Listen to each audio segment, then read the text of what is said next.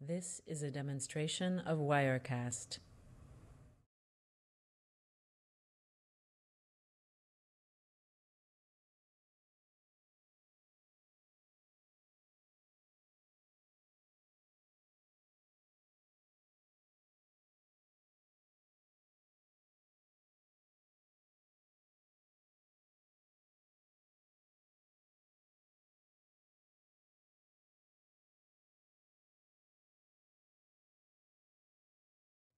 This is a demonstration of Wirecast.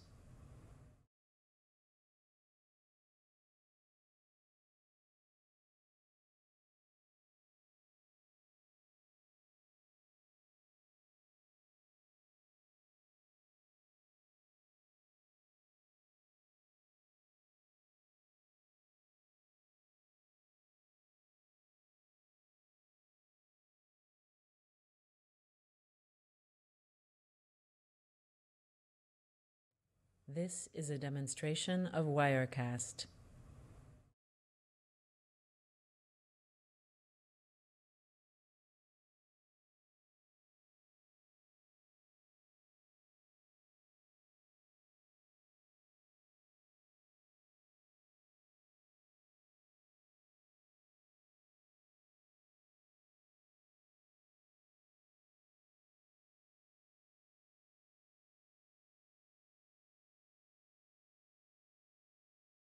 This is a demonstration of Wirecast.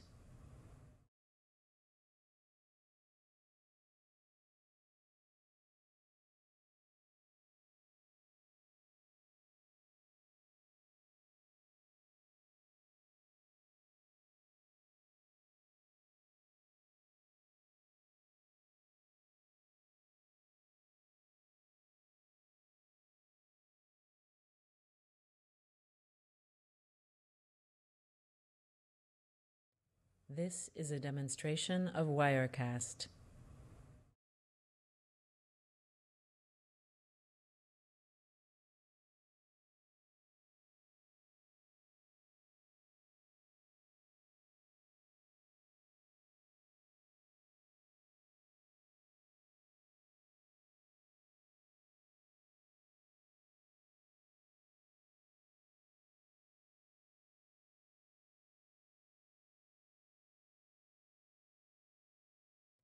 This is a demonstration of Wirecast.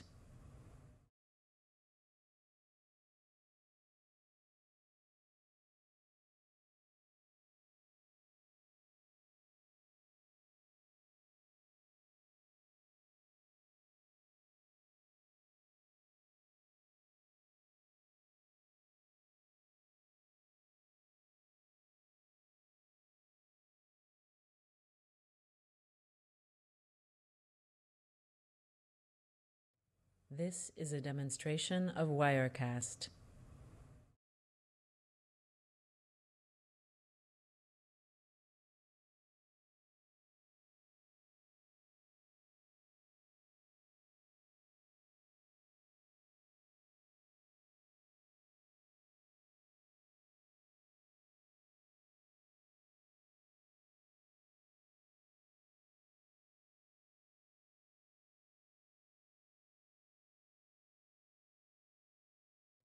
This is a demonstration of Wirecast.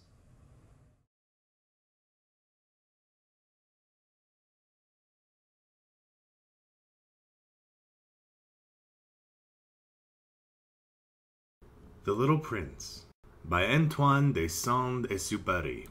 Chapter 1 Once when I was six, I saw a magnificent picture in a book about the jungle called True Stories. It showed a boa constrictor swallowing a wild beast. Here is a copy of the picture. This is a demonstration of In the book, it said boa constrictors swallow their prey whole without chewing. Afterwards, they are no longer able to move, and they sleep during the six months of their digestion. Adventures, and eventually managed to make my first drawing using a colored pencil. My drawing number one looked like this. I showed the grown ups my masterpiece, and I asked them if my drawing scared them. They answered, Why be scared of a hat? My drawing was not This a picture a of a hat. demonstration It was a picture of a boa constrictor digesting an elephant. Then I drew the inside of the boa constrictor so the grown ups could understand. They always need explanations. My drawing number two looked like this. The grown ups advised me to put away my drawings of boa constrictors outside or inside and apply myself instead to geography, history, arithmetic, and grammar. That is why I abandoned, at the age of six, a magnificent career as an artist. I had been discouraged by the failure of my drawing number one of and of my drawing number two. Grown ups never understand anything by themselves, and it is exhausting for children to have to provide explanations over and over again. So then I had to choose another career, and I learned to pilot airplanes. I've flown almost everywhere in the world. And, as a matter of fact, geography has been a big help to me. I could tell China from Arizona at first glance, which is very useful if you get lost during the night. This is a demonstration So I have had, in the course of my life, lots of encounters with lots of serious people. I have spent lots of time with grown ups. I've seen them at close range, which hasn't much improved my opinion of them. Whenever I encountered a grown up who seemed to me at all enlightened, I would experiment on him with my drawing number one, which I have always kept. I wanted to see if Das der großen Leute wegen. Die großen Leute haben eine Vorliebe für Zahlen. Wenn ihr ihnen von einem neuen Freund erzählt, befragen sie euch nie über das Wesentliche. Sie fragen euch nie, wie ist der Klang seiner Stimme, welche Spiele liebt er am meisten, sammelt er Schmetterlinge? Sie fragen euch, wie alt ist er, wie viele Brüder hat er, wie viel wiegt er, wie viel verdient sein Vater. Dann erst glauben sie ihn zu kennen. Wenn ihr zu den großen Leuten sagt, ich habe ein sehr schönes Haus mit roten Ziegeln gesehen, mit Geranien vor dem Fenster und Tauben auf dem Dach, dann sind sie nicht imstande, sich dieses Haus vorzustellen. Man muss ihnen sagen, ich habe ein Haus gesehen, das 100.000 Franken wert ist. Dann schreien sie gleich, ach, wie schön. So auch, wenn ihr ihnen sagt, der Beweis dafür, dass es den kleinen Prinzen wirklich gegeben hat, besteht darin, dass er entzückend war, dass er lachte und dass er ein Schaf haben wollte. Denn wenn man sich ein Schaf wünscht, ist es doch ein Beweis dafür, dass man lebt. Dann werden sie die Achseln zucken und euch wie Kinder behandeln. Aber wenn ihr ihnen sagt, der Planet, von dem er kam, ist der Planet B612, dann werden sie überzeugt sein und euch mit ihren Fragen in Ruhe lassen. So sind sie. Man darf ihnen das nicht übel nehmen. Kinder müssen mit großen Leuten viel Nachsicht haben. Wir freilich, die wir wissen, was das Leben eigentlich ist, wir machen uns nur lustig über die albernen Zahlen. Viel lieber hätte ich diese Geschichte begonnen wie ein Märchen. Am liebsten hätte ich so angefangen. Es war einmal ein kleiner Prinz, der wohnte auf einem Planeten, der kaum größer war als er selbst, und er brauchte einen Freund. Für die, die das Leben richtig verstehen, würde das viel glaubwürdiger klingen. Denn ich möchte nicht, dass man mein Buch leicht nimmt.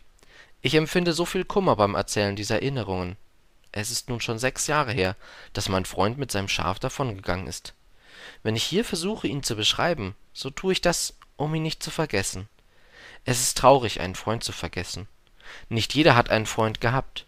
Und ich könnte wie die größten, großen Leute werden, die sich nur für Ziffern interessieren. Deshalb habe ich mir schließlich auch einen Farbkasten und Zeichenstifte geklaut. Es ist schwer, sich in meinem Alter noch einmal aufs Zeichnen einzulassen, wenn man seit seinem sechsten Lebensjahr nie andere Versuche gemacht hat, als die mit einer sch- geschlossenen und einer offenen Riesenschlange.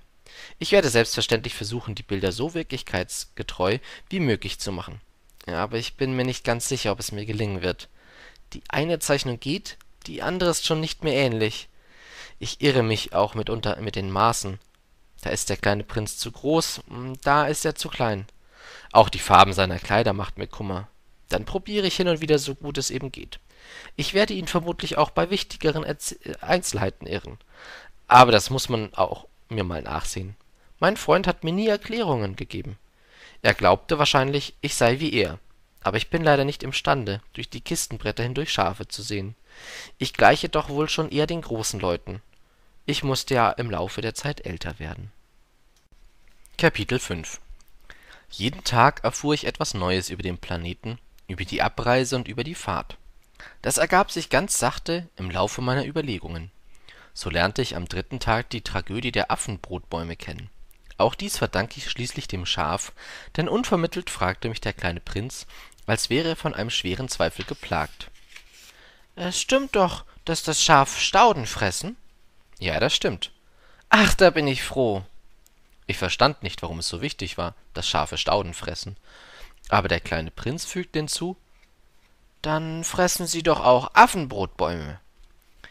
Ich erklärte dem kleinen Prinzen ausführlich, dass Affenbrotbäume doch keine Stauden sind, sondern kirchturmhohe Bäume, und selbst wenn er eine ganze Herde Elefanten mitnähme, würde diese Herde nicht einem einzigen Affenbrotbaum fertig werden.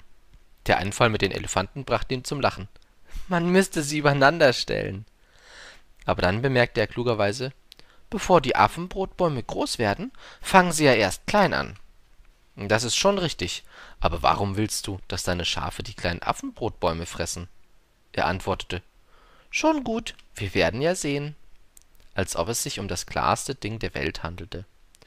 Und ich musste meinen ganzen Verstand aufbieten, um der Sache auf den Grund zu gehen.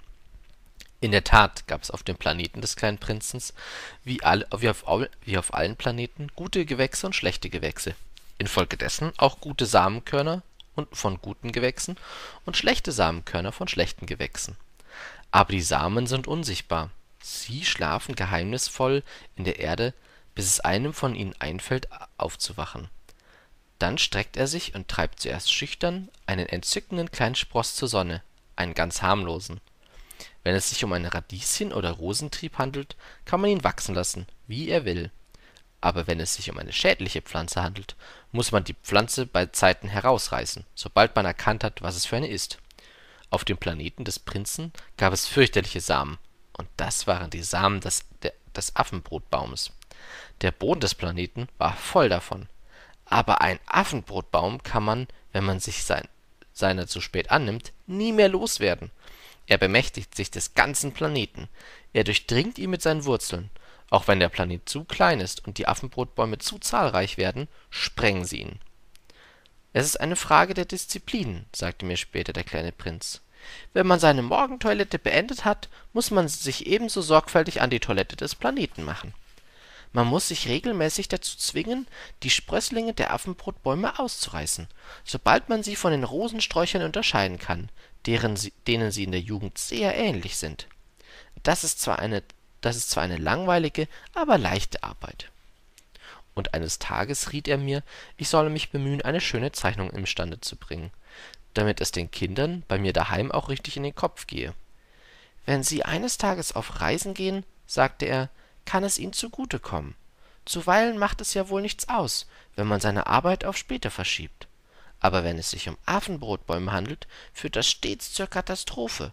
Ich habe einen Planeten gekannt, den ein Faulpelz bewohnt hat. Er hatte drei Sträucher übersehen.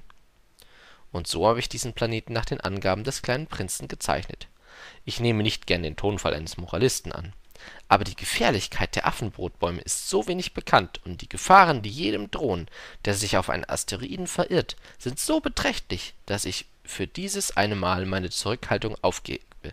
Ich sage, Kinder, Achtung, die Affenbrotbäume um meine Freunde auf die Gefahr aufmerksam zu machen, die unerkannt ihnen wie mir seit langem droht, habe ich so viel an dieser Zeichnung gearbeitet. Die Lehre, die ich damit gebe, ist gewiss der Mühe wert. Ihr werdet euch vielleicht fragen, warum enthält dieses Buch nicht noch eine andere, ebenso großartige Zeichnung wie die Zeichnung von den Affenbrotbäumen? Die Antwort ist sehr einfach. Ich habe wohl den Versuch gewagt, aber es ist mir nicht gelungen. Als ich die Affenbrotbäume zeichnete, war ich vom Gefühl der Dringlichkeit beseelt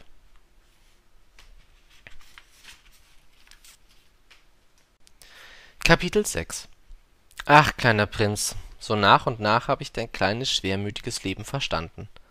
Lange Zeit hast du, um dich zu zerstreuen, nichts anderes gehabt als die Lieblichkeit der Sonnenuntergänge. Das erfuhr ich am Morgen des vierten Tages, als du mir sagtest, ich liebe die Sonnenuntergänge sehr.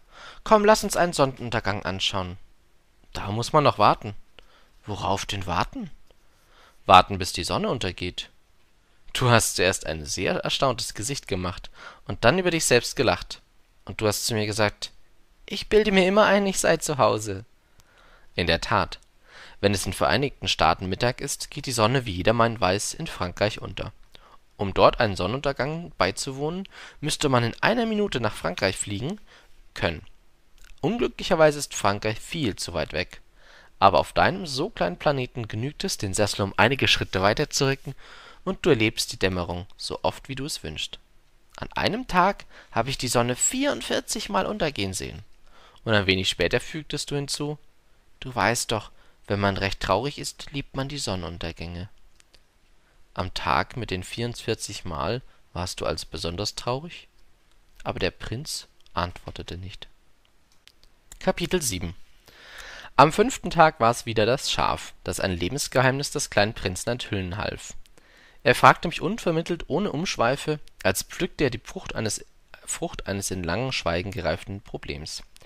Wenn ein Schaf Sträucher frisst, so frisst es doch auch die Blumen. Ein Schaf